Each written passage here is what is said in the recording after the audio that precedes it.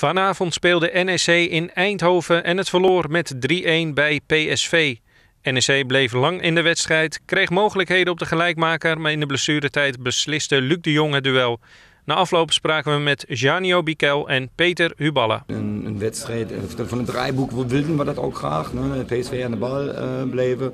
Omdat wij toch uh, analyseerd hebben dat ze heel veel doelpunten over omschakelen gedaan doen. De laatste weken hebben ze vandaag ook gedaan met de 2-1. En daarom hebben we gezegd, we proberen dat spel langzaam te doen. We proberen diep te staan. We proberen altijd in de afwisseling 5-4-1, 5-3-2 te spelen. Altijd ja, van de buitenkant in de bananenvorm eruit te gaan. En dan de counter uitspelen. Zo, dat hebben we bij de 1-1 prachtig gedaan. En ik van heel veel momenten hebben het heel slecht gedaan. Ik had het gevoel dat je ja, minimaal een punten uh, verdient. Dat een moment met uh, Moreno. Uh, jullie gingen er allebei aardig hard in, maar volgens mij Moreno nog harder. Wat gebeurde er volgens jou? Want de scheidsrechter vond het niet meer dan een scheidsrechtersbal. Ja, dat was gewoon, uh, gewoon een duel. Ja, het was gewoon uit het duel. Dat, dat weet de scheids zelf en de Moreno ook. Ja. Maar we weten, hij gaat gewoon vragen om een gele kaart te Dat is gewoon normaal. Maar dat was gewoon uit het duel. En dan volgende week Sparta, daar ben je er niet bij? Nee, ik heb er nu vijf gele kaarten, dus ben geschorst.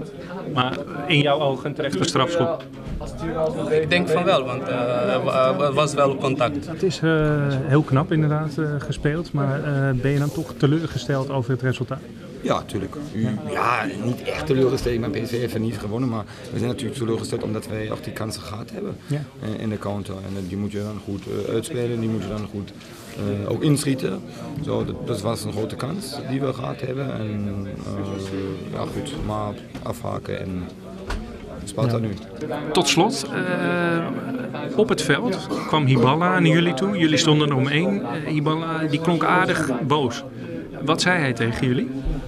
Nee, ik denk dat hij was niet boos, maar wel teleurgestelling. Dat is gewoon normaal. Maar ik zeg gewoon, jongens, ja, jullie hebben het wel goed gedaan. Ook het was wel een goed moment, ook een slecht moment. En uh, het is logisch, we hebben niet, uh, niet Dus zeg, ja, hij zegt gewoon, uh, ja, dit is, zo, dit, is, dit is het. En de volgende wedstrijd willen we weten dat je, we hebben Sparta thuis. Dus die moeten wij weerstaan. Heel belangrijk. Wat neem je mee uit deze wedstrijd? Ja, ik neem mee dat uh, wij met andere spelers gespeeld hebben. Jero Groot was uh, geblesseerd, Dierenstam is geblesseerd. Uh, volgende week is Biki geschorst. Um, dat we goed gevochten hebben, dat we goed de afspraken gehouden hebben. Um, dat we in de gegenpressing weer heel goed waren. Dat we, um, ja, en dat we aan de bal stapjes doen, maar nog geen stappen. Zo, dat is het.